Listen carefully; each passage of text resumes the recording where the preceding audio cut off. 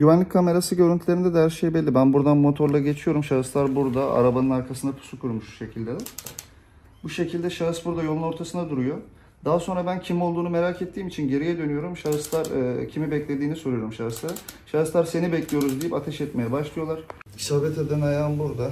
Her tarafından zaten isabet etti. Ayağımda ayrıca platin var. E, boydan boya buradan yukarıya kadar platin takıldı kemik kırığından kaynaklı. Bu şekilde ayağımın her tarafı sarılı şekilde ayağım hiçbir şekilde bükülemiyor. Şahıslardan bir tanesi e, buramdan vurdu beni. Birinde 7 mm silah, birinde 9 mm silah vardı. Daha sonra buramdan gelen kurşun var. Bu kemiğimi kıran kurşun. E, yukarıda kurşunlar var şu an açamadığım tarafta. Toplamda 5 adet kurşun isabet etti. Sol ve sağ bacaklarım olmak üzere. Kurşun yarasının burada çukur şeklinde gözüküyor zaten. Dikişlerini dün aldırdım daha bir ay olduğu için. Bu şekilde. Bunun üst tarafında da e, kurşun yaraları mevcut. Burada ameliyat izim mevcut. Dizime.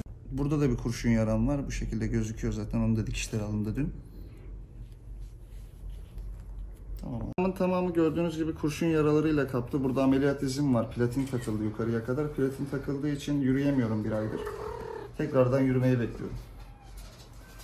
İstanbul'da ben e, şans oyunundan 700 bin lira bir para kazandım. Daha sonra bu parayı tahsil edemedim. Zaten bana ulaşmadı bu para. Fakat e, bu şahıslar bana tekrardan e, evime geldiler. E, duymuşlar benim para kazandım. Benden para talep ettiler. Daha sonra bu parayı ödeyemeyeceğim. Çünkü böyle bir param olmadığını, yani parayı tahsil edemediğimi söyledim. Şahıslar e, parayı vereceğimi, vermediğim takdirde beni öldüreceklerini söylediler.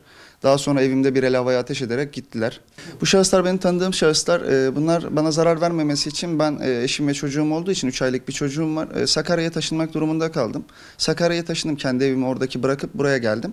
Daha sonra bu şahıslar buradaki adresimi de bularak buraya geldiler ve e, görmüş olduğunuz saldırıyı gerçekleştirdiler. Sakarya'ya taşındıktan 8-9 ay sonrasında buradaki adresimi bularak buraya geldiler ve e, bu şekilde yaralanmama sebep oldular ağır şekilde. Evet. Çocuğuma mama almak için ben e, evden dışarıya çıktım. Saat zaten 2 iki buçuktu. İki buçukta çocuğuma mama almak için kapıdan motosikletime bindim garajdan. Gece oluyor evet.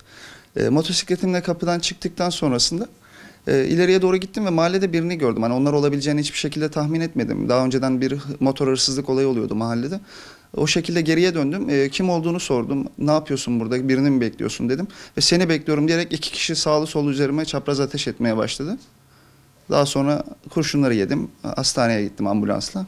İsabet eden 5 kurşun var. Ee, bunlardan 3 tanesi giriş ve çıkış, 2 tanesi sadece giriş. Benim yaşadığım bu mağduriyet şans oyunundan e, kazandığım fakat çekemediğim 700 bin lira gibi bir paradan kaynaklı oluştu. Hastaneye kaldırıldım. E, işimden de oldum ayrıca. Şahıslar daha sonra yakalandılar. Her ikisi de ikişer gün arayla yakalandılar bu olaydan bir ay sonrasında. Şahısları aldılar, ifadelerini verdiler ve birbirlerini tanımadıklarını iddia ettiler. Şahısların benim elimde sosyal medyada, açık platformda paylaşılmış fotoğrafları mevcut. Birbirlerini tanıdıklarını zaten ben biliyorum. İkisini birden ben tanıdığım için. Tehditler devam ediyor telefon üzerinden. Daha sonra kendileri serbest bırakıldılar. E, delil yetersizliği olduğunu söyledi. Fakat e, herhangi bir şekilde kamera görüntülerindeki şahsın olduğu belli değilmiş. Bunu belirtiyorlar. Ama şöyle söyleyeyim kamera görüntülerindekilerin onlar olduğu suratları gözükür şekilde net. Bununla ilgili e, yüce adalete sığınıyorum. Yaşadığım bu sorunlardan kaynaklı ben e, Sakarya'yı şu anda terk etmeyi düşünüyorum. Çünkü bu şahıslar belli ki durmayacaklar. Beni öldürme çabaları var. E, bununla ilgili ben buradaki evimi tamamen terk etmek istiyorum. Eşim ve çocuğuma herhangi bir zarar gelmemesi için. Buradan gideceğim tamamen Sakarya'dan. Bu olaylarla ilgili doğduğum, büyüdüğüm şehri İstanbul'u terk ettim. Sakarya'ya geldim. Olaylar peşimi bırakmadı. Daha sonra artık buradan da gitmeyi düşünüyorum. Ne yapacağımı bilmiyorum. Hayatımın olağan akışı çok değişti şu anda. Ben bir aydan beri yatıyorum. E, yataktan kalkamıyorum herhangi bir şekilde. E, param da yoktu zaten evimi taşımak için. Para bulabilmek amaçlı e, eşimi dostumu aradım ve borç aldım evimi taşıyabilmek için. Şu anda borç aldım bu şekilde evimi taşıyacağım. Ölüm korkusundan kaynaklanan öldürme şansları var çünkü benim. Belli ki durmayacaklar. Zaten şöyle anlatayım mahkemede serbest bıraktı ve tutuklu, tutuksuz yargılanıyorlar şu anda.